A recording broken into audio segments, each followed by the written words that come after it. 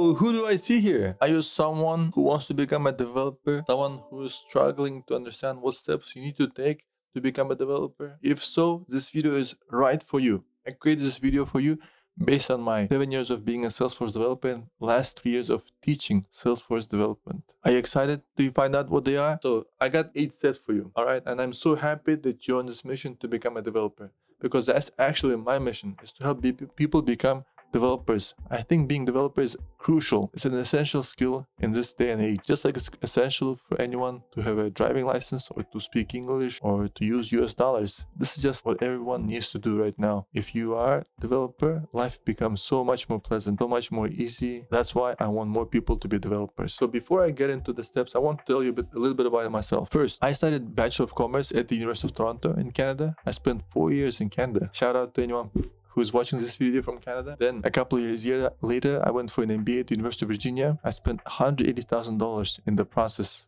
of getting my MBA. This was for tuition and cost of living. It's a crazy amount of money, right? And after I finished my MBA, um, I was working as an MBA consultant for CareFirst Blue Cross Blue Shield here in Maryland. And one, one of my projects was to help the sales team better appreciate, make better use of Salesforce because they bought Salesforce, but the sales team was not really using it. So I went there as a trainer and I started learning more about Salesforce. It blew my mind away. I thought this was an amazing technology and I couldn't understand this is so cool and why I was missing out on this and why I spent $180,000 on my MBA. But without much thought, without, with conviction that this was the future, I decided to make a career pivot and I was on a mission to become a Salesforce developer. So it was love at first sight.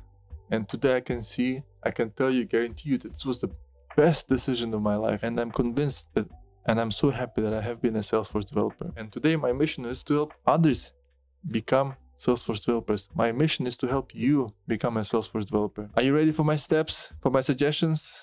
Let's go. Let's keep watching. So today I have two children. So they're my biologic, biological children. But besides them, I also have a lot of Salesforce children. Here is my class.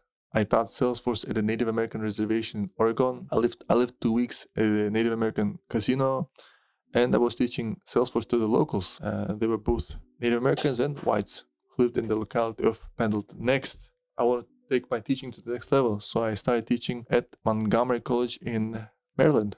Montgomery College is the largest community college in the state of Maryland, over 60,000 students, and they started their Salesforce development courses just with my support I was the first instructor and I enjoyed it so much. I wanted to take my course even further. I wanted to set up a life transforming course, not just like technical teaching Apex course, but I want to teach a course where someone came in with no technical background and came out with enough knowledge to become a Salesforce developer. So that's why I started the Salesforce Developer Bootcamp. My first class was in 2019. I had about 20 students. They came from, from Canada, US, Europe. They were practically all of them were immigrants, all of them were career changers, and thankfully, almost all of them got Salesforce jobs. And so today, I'm still teaching. Now we have more people teaching. We have a lot of instructors. We have much, much better course material. And I'm so happy that I've been able to help a lot of people becoming Salesforce developers and in the process change their life. Are you ready to hear about the eight steps to become a Salesforce developer?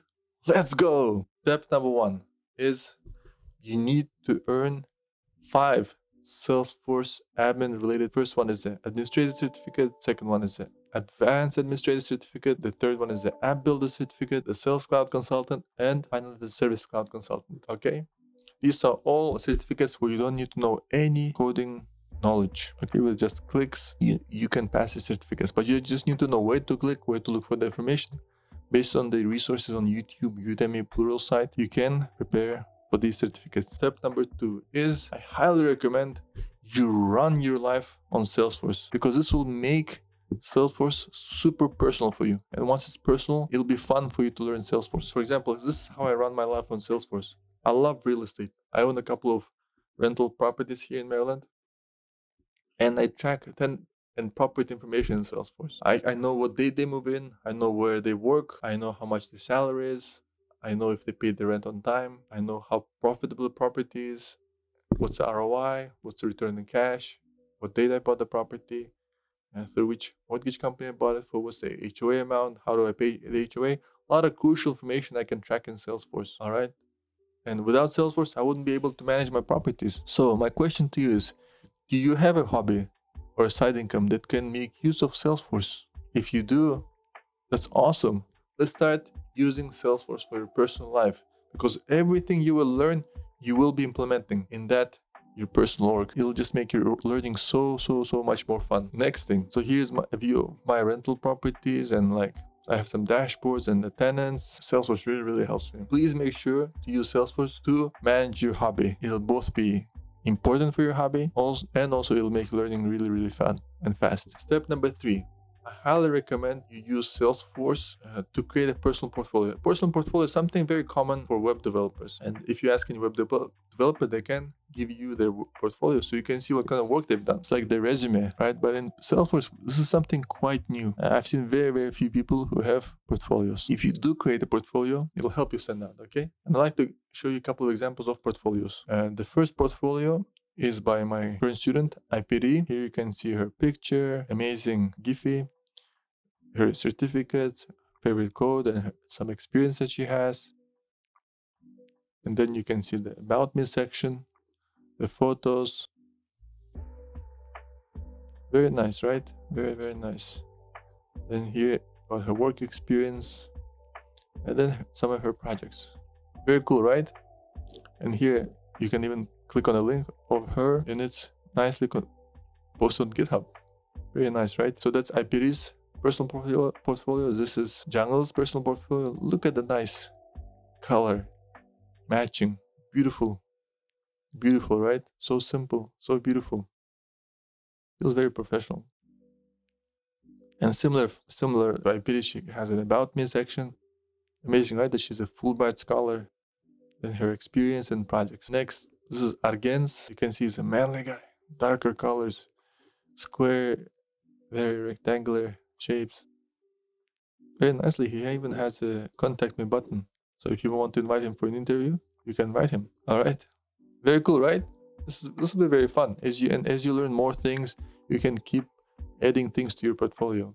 All right. And when you apply for jobs, this will be a very nice thing to talk about. The fourth thing I recommend you do is you, you you need to study for and pass the platform developer one certificate it's not as scary as you think and you don't need to know 100% of the material to pass if you know at least 65% of the material you'll pass. Even 70% of the material is okay. You don't need to know 100% you can find a lot of good practice tests online on quizlet google online also you can there are other providers of pd1 certificate mock exams. There are a lot of good resources online that will help you study for the exam okay? And just pass it. In the process of studying for the exam, you learn a lot about Apex, the best practices of coding. Next, I suggest you study for the Scrum Master certificate. This is super easy compared to the other certificates I've listed so far. The significance of the certificate is not itself, but the knowledge you gain. You need to understand this agile process. You need to know the essential 10 terms in an agile work setting.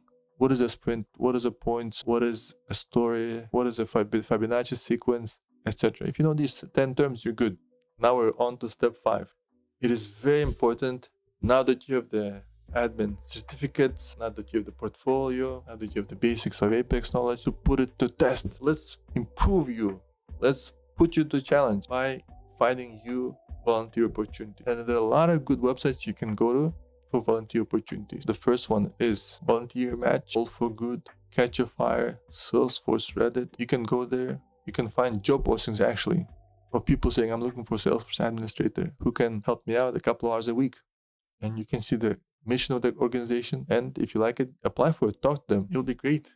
Next, you can seek out projects on Upwork.com. If you go to Upwork.com, you type in like Salesforce Apex, you can see job postings. For example, this person is looking for Salesforce, Salesforce Flow expert is willing to pay 79 to 125 dollars an hour and then this person is looking for help with salesforce admin updates and this person looking for salesforce consultant for full service agency have a whole bunch of job postings you can apply for you might not get everyone you probably will not get every single application you'll apply for but you might get one from 20 and, uh, and from that you learn a lot you learn so much it'll really accelerate your learning because you'll be adrenaline under the under the adrenaline you'll be under the pressure and the client will be asking you things, clarifying things, and you learn a lot in the process. Right. And the third way you can get your admin and dev experiences by connecting to your local nonprofits. Talk to them. Hey, I'm looking for Salesforce admin experience. Is there something I can help you with? A lot of these nonprofits cannot afford to hire Salesforce professionals at 75 $100 an hour. And here they can hire you, right? They have nothing to lose if, if you work in a sandbox, if you, they can test your things in the sandbox before they deploy to production, there's nothing they can lose. So talk to them, okay? You'll be surprised by how much more demand there is for your skills than you think. Right, let's go to step number six. I highly recommend that you join your local developer group or a local admin group. To become a Salesforce developer, it is essential that you embrace the Salesforce community. You need to go to the meetups. You need to meet the local leaders, meet other people who are couple years ahead of you. Meet other people who are also at the same level as you. You can inspire each other. You can help each other. I used to go to a lot of DC developer group meetings and I felt I was the newbie. I felt everyone was super experienced and I was a newbie and I felt like I was the odd duck there. But I kept going. I really liked the people I met there. They were super nice, although they were many years ahead of me. And I met recruiters there. I met developers there. I made, made friends there and some of them later on helped me in their li- in my life. So I highly recommend you go to your developer group if you have not done so. So here you can go to this website, trailblazercommunitygroups.com, and when you're there, just put in the city you're in.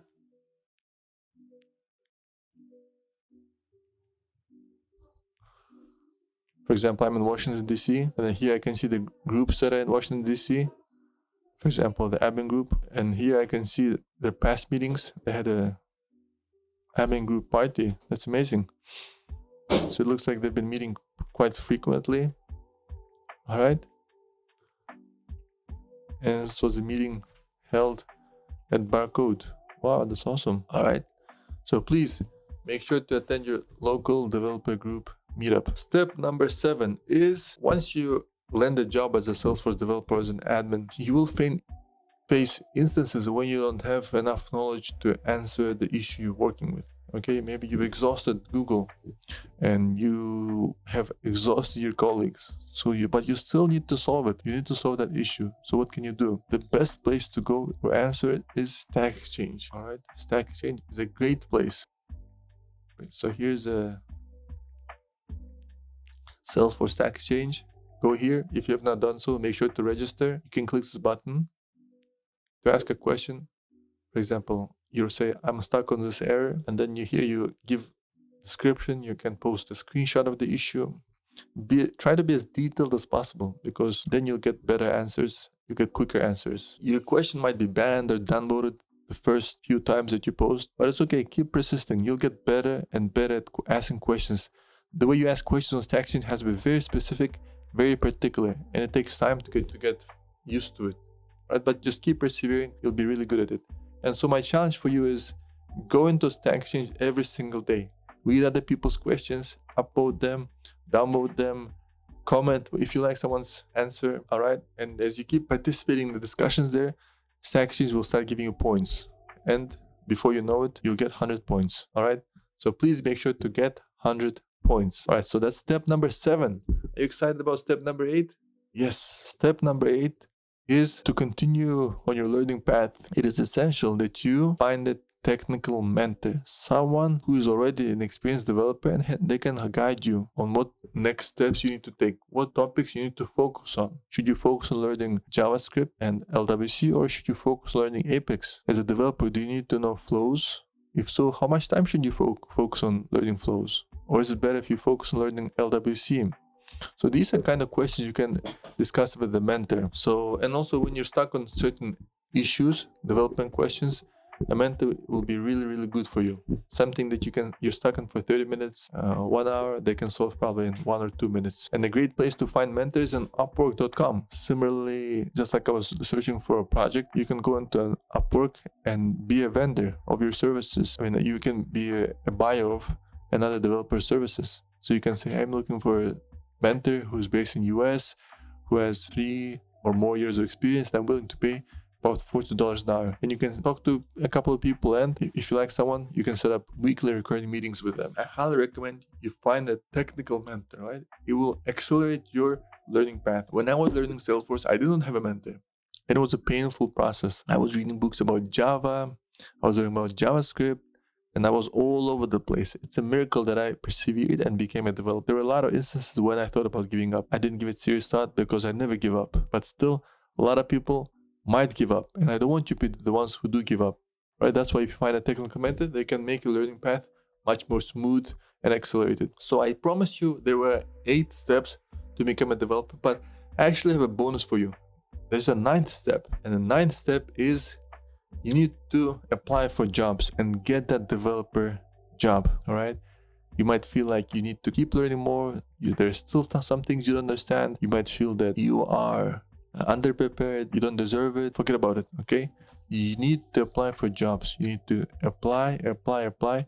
You will get that job. You will work hard. You will improve on each interview. You will know what your mistakes are. And after five interviews you'll be really really good. The important thing is you need to apply you need to track your mistakes, record yourself. And what's the best place to track your mistakes? Of course, in Salesforce. Each job application is an opportunity. Your goal is to get that opportunity to close one. Sooner or later, you will get the job. Okay, it's a matter of time. But you need to focus, you need to keep applying, you need to do the other things that I've been talking about. So now let's sum it up. So here are the nine steps to become a Salesforce developer. The first one is you need to earn the five five admin certificates. Next, you need to make Salesforce personal. Like I run Salesforce, well, just like I run my real estate business on Salesforce, you could run your hobby on Salesforce. Number three is create a portfolio on Salesforce. Number four is pass the PD1 certificate and try to pass the Scrum Master certificate if you have time.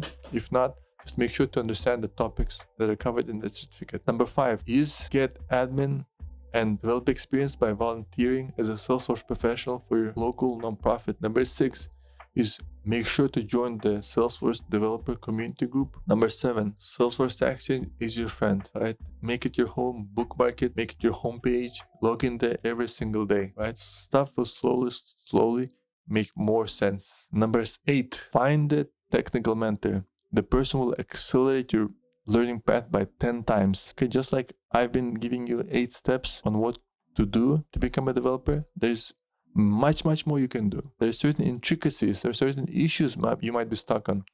And so if you have a mentor, it will super accelerate your learning path. Okay. And number nine, apply for jobs. Apply for jobs, persevere. You will get that coveted Salesforce job. How does it sound? It sounds amazing, right?